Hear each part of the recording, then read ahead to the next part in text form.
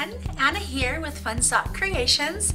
Today we have the fastest project we've ever done before, and that is a cute little sunglasses case. And these are great. I have my sunglasses in here, which protects the lenses but doesn't take up a lot of room in my purse.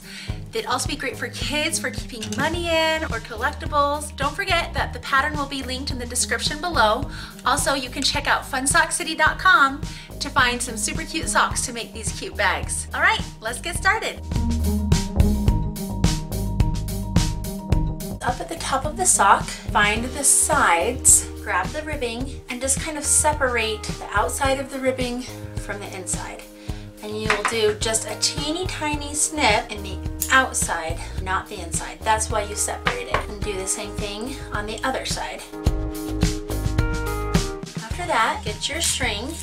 You can use shoelace or paracord, string, whatever you're using for your string to the straw and then wrap it back around. This is what you're going to use to guide it through the ribbing. Insert it on one side of the sock and you'll go all the way around.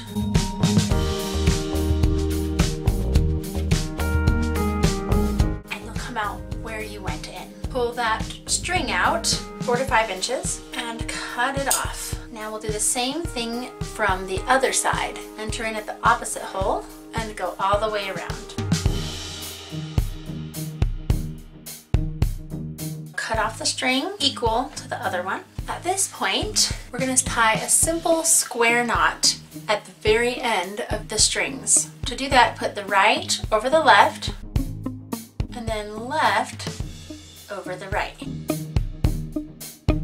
then pull it as tight as you can, and once you've pulled it here, pull this way also, just to get it really tight. We're going to do the same thing on the other side. Since I used a shoelace, I'm going to snip off that very end right there.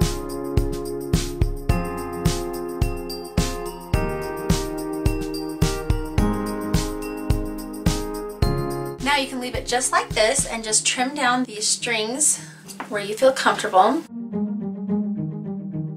Or you can take it one step further by melting the tips of the strings that you have cut off. You can do this with a match or a flame of a candle. Then just kind of pinch that end together. If you do this up, you need to be very careful. Only adults should do this and you should do it in an outdoor space. Okay, at this point you are finished. Let me know in the comments below what you use yours for. So how did your project go? I hope it turned out in a way that you love. Don't forget to like and subscribe to our channel so that you don't miss any of our upcoming videos. Also, we'd love it if you share these videos with your friends. See you next time.